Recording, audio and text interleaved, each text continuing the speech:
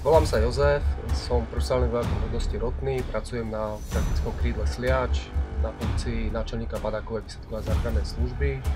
Naša služba zabezpečuje pre vzdušné sily výcvik pilotov v núzovom pustení lietadla, kde ich učíme činnosť, ako opustiť lietadlo, činnosť na padáku a takisto ich činnosť po pristati v neznámom teréne a ďalej zabezpečujeme takisto ich záchranu formou patracej služby ako pozemnej, tak aj leteckej.